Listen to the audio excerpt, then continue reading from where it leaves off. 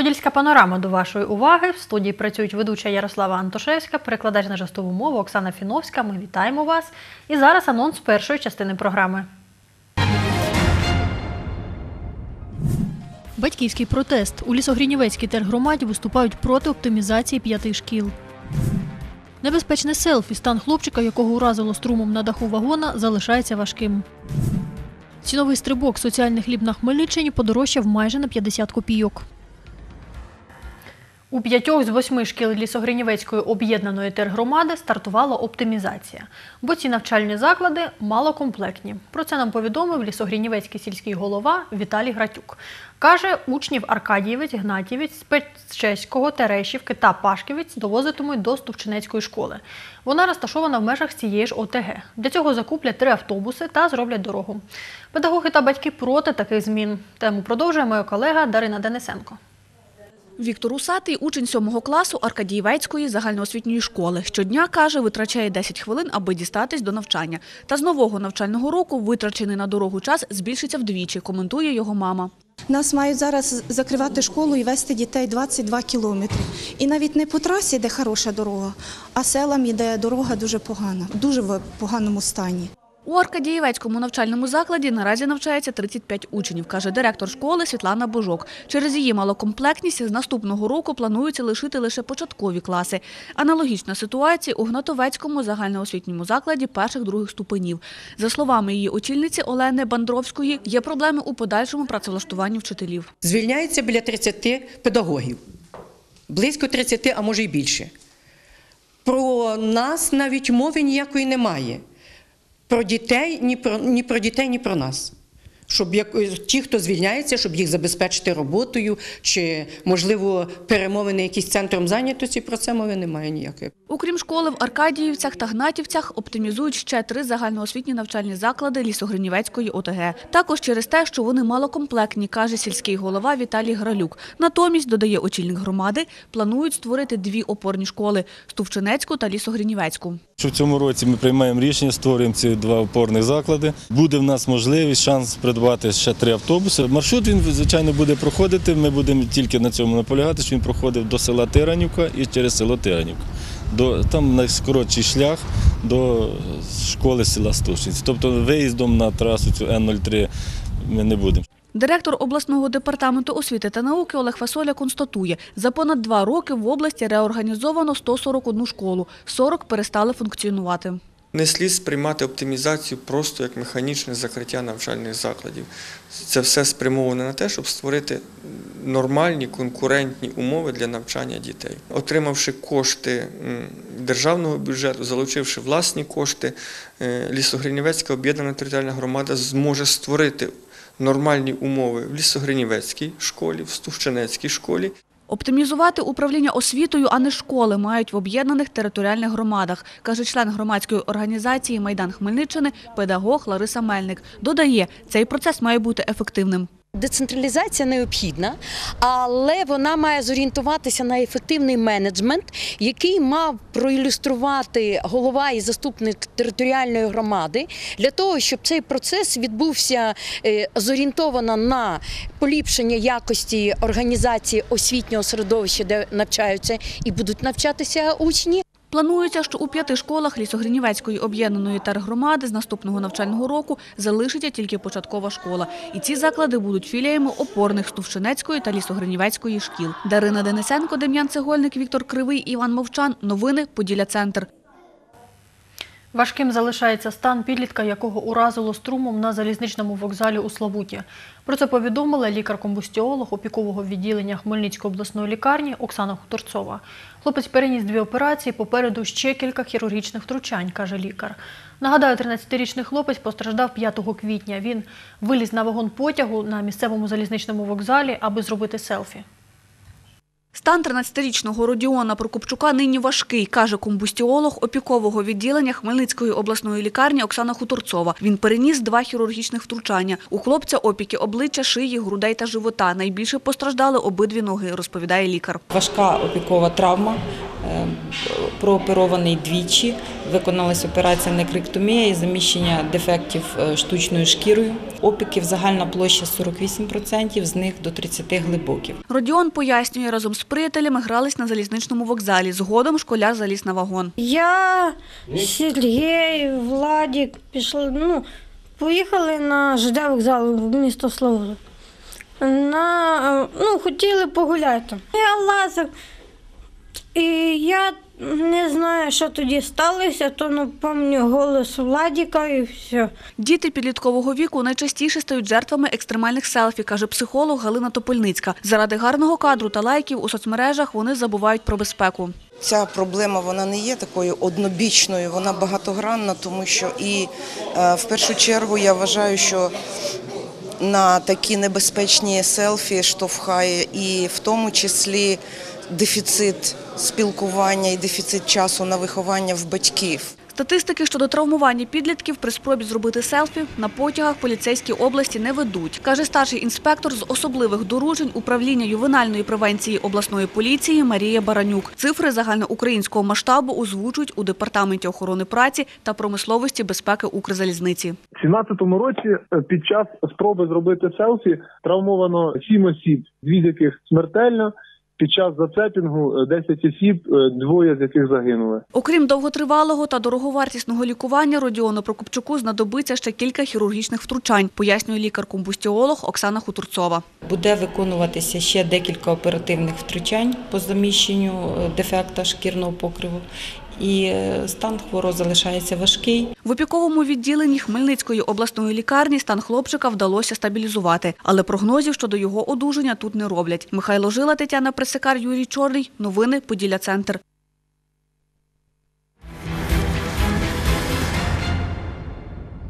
У Віньковецькому районі затримали підозрюваного у шахрайстві на спробі відкупитися від кримінальної відповідальності.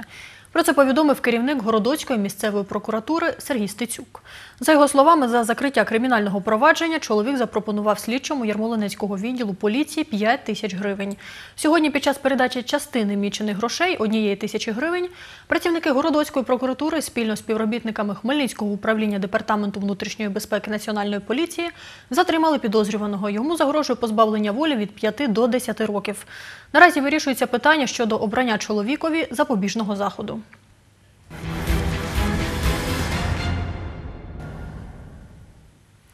Майже на 50 копійок подорожчав соціальний хліб Хмельницького хлібзаводу. Про це повідомила заступник директора підприємства Хмельницьхліб Олена Романенко. За її словами, головна причина підвищення цін на борошно та енергоносії. Востаннє подорожчання продукції цього підприємства відбулося 1 лютого цього року, розповіла телефоном Олена Романенко.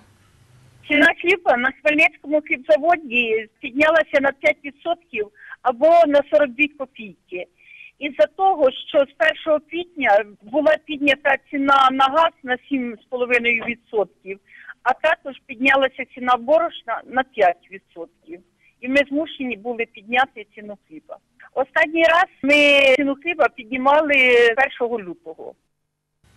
Стан пожежної безпеки у 49 закладах масового перебування людей позапланово перевірили працівники ДСНС області.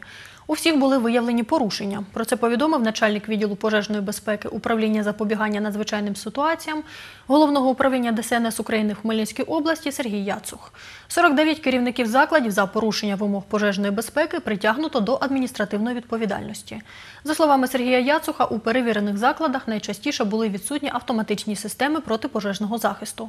Нагадаю, позапланові перевірки закладів масового перебування людей в області розпочалися 2 квітня і триватимуть три місяці. За цей час фахівці ДСНС області перевірять майже півтори тисячі дитячих садочків, шкіл, лікарень та торговельно-розважальних закладів. Ви дивитеся подільську панораму. Далі анонс її другої частини. Батьківський протест. У Лісогрінівецькій тергромаді виступають проти оптимізації п'яти шкіл. Жереб кинуто. Випускники єдиного в Україні прикордонного вишу місце проходження служби обирали жеребкуванням. Історичним флешмобом та спільним танцем відкриватимуть цьогорічний туристичний сезон у Кам'янці-Подільському. Курсанти і офіцери Академії Державної прикордонної служби обирають місце проходження служби. Відбувався розподіл шляхом жеребкування під наглядом комісії. Випускники витягали білети, зазначеним місцем охорони кордонів, крім зони АТО. Передував розподіл у залік державної атестації, який став, каже начальник кафедри фізичної підготовки Академії Андрій Мельников, підсумком фізичної підготовки майбутніх прикордонників. Розпочався залік із легкоатлетичного кросу. Перед жеребкуванням у випускників розпочали іспити в залік державної атестації. Це, каже начальник кафедри фізпідготовки Андрій Мельніков, підсумок тренувань упродовж навчання. Всі з нетерпінням чекають цього випробування. Воно знаменує собою завершення періоду навчання в академії. І на цьому випробуванні визначаємо загальну витривалість наших слухачів. Сержант Івана Стельмащук пробігла тисячу метрів на відмінно. Дівчина каже, нормативи від початку навчання і до випуску підвищувалися, але вона системно тренувалася. Та цей кілометр, говорить Івана, був найважчим за її курсантську практику. Вчора ми закінчили тільки сесію, вчора були екзамени, вчора були заліки, а сьогодні ми вже маємо вкладатись наповну. До процесу розподілу шляхом жеребкування сержант каже, ставиться позитивно. Всі отримують єдині одинакові умови для того, щоб почати свою службу на первинних офіцерських посадах. Майор Олександр Цопа говорить, перед розподілом не хвилюється. Каже, хотів би служити поближче до Чернівців, звідки родом, але військові не звикли вибирати місце проходження служби. Як держава скаже, так вже і буде. Офіцер розподіл методом жеребкування вважає справедливим. Я вважаю, що це демократичний підхід до цього питання, тому що воно виключає е, різні прояви корупційних е, проявів. Е, Ну і певним чином людина сама обирає свою долю. Крос протяжністю 3 кілометри майор Цопа пробіг на відмінно. Офіцер каже, не сумнівався в високому балі, бо стежить за своєю фізичною формою. Я думаю, що я здав на відміну, тому що по цьому передавала певна підготовка. А щоб мати право вибору на розподілі, слід було закінчити академії з найвищими оцінками з усіх дисциплін, каже ректор вишу Олег Шинкарук. Враховуються при розподілі питання навчання, це дипломи з відзнаками, це відмінники, це сімейні пари, це учасники АТО. Першими на розподіл запрошувалися офіцери. Із восьми випускників-відмінників четверо заявили про своє бажання служити в Донецько-Луганському окрузі, як от майор Олександр Мандзюк. Директор департаменту особового складу адміністрації Держприкордонслужби України Микола Маланчій каже, таку систему започаткували два роки тому, і вона себе виправдала, каже генерал-майор. Це в першу чергу дає можливість нам уникнути, мінімізувати вплив на сам розподіл і дає можливість е, військовослужбовцям самостійно вирішити питання, от, де де проходити службу. За жеребкуванням стежили шість членів комісії з регіональних управлінь Державної прикордонної служби України, представники громадських організацій, Служби безпеки України та засоби масової інформації. Після офіцерів на жеребкування запрошувалися курсанти, і всі випускники академії після 27 квітня вирушать до місць проходження служби. Світлана Поробок, Іван Мовчан. Новини Поділля Центр. 233 мільйони гривень цьогоріч надійде з державного бюджету на Хмельниччину, за які планується збудувати в області 26 нових амбулаторій первинної медичної допомоги. Про це на прес-конференції сказав директор департаменту охорони здоров'я Хмельницької обласної державної адміністрації Яків Цуглевич. Ми побудуємо цього року 26 нових амбулаторій, е, дві зробимо реконструкції і капітальний ремонт. Всього буде задіяно 42 об'єкта, забезпечення е, матеріально-технічно повністю автомобіль і квартира для сімейного лікаря.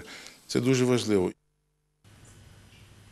На формування спроможної мережі первинної медичної допомоги держава виділила кошти Хмельниччині в рамках закону України про розвиток сільської медицини. Палац спорту у Хмельницькому будуватимуть за кошти державного і міського бюджетів. Про це повідомив начальник фінансового управління Хмельницької міської ради Сергій Ямчук. Звести його планують на вулиці Прибузькій, 5, дріб 1А.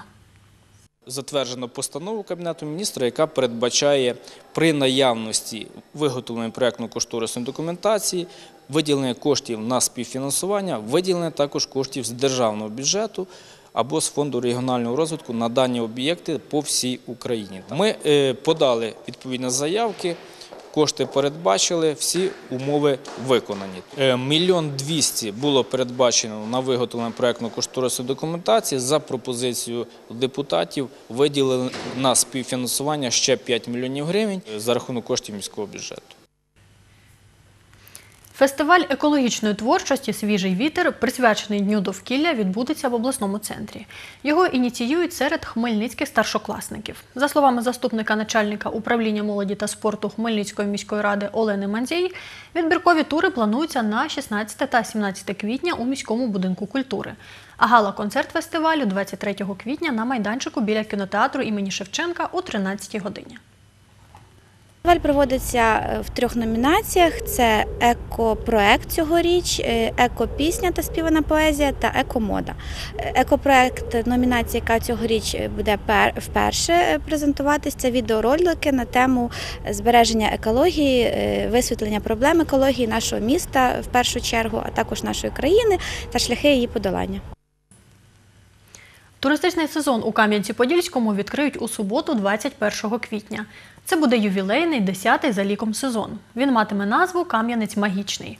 Про це нам повідомила директор департаменту гуманітарної політики міської ради Альона Кузема. У день відкриття планують влаштувати історичний флешмоб. Дві сотні людей в старовинних костюмах вийдуть на вулиці старого міста. Після цього учасники дійства виконують спільний танець, який може увійти до книги рекордів України, повідомила Альона Кузема. У цьогорічному сезоні в Кам'янці-Подільському заплановано 30 фестивалів. На цьому ми завершуємо випуск. Дякуємо вам за увагу.